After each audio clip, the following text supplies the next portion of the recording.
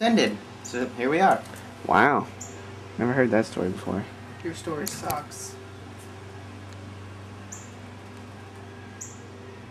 Hey guys, you want to hear a joke? Yeah. Okay. So, uh, this pirate walks into a bar with a paper towel on his head and sits down. And the bartender's like, Why do you have a paper towel on your head? And he's like, Arg, someone put a bounty on my head.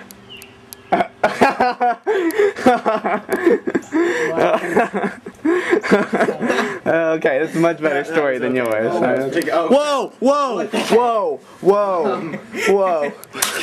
Mm, what you say? Mm, that you only meant well, well. What the heck? Uh, it just slipped. It slipped. yes. Well, where did you even? just slipped. Where did you even? Where did you even get a gun? It just slipped. It it slipped. It slipped out of nothing. It's. You're not making any sense. Shut up. It was. Stop. It was. Could you just thank you? It was just. W- stop it. just slipped. How did it's? Why did you? What, what, could you stop, please?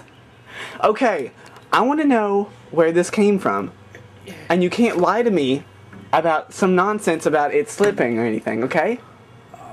Can you call 911? I don't know. Can you? no. That's ah, just a whiner. Can you just? Okay, we what are we gonna do? we can't leave him. We're gonna have to shoot him again. We could hide. Where What? are we gonna hide the body? Um, I'm I'm alive. You just need to get an ambulance here. yeah, we're not taking the rat for this. Um. You know what? I have a friend. He could uh, dispose of the body, and he will do everything for a hush hush fee. What determines a hush hush fee? Um, because he's pretty loudmouth. Wh- What what A the hush crap, hush- guys? Well, we have to silence him first, so it's hush.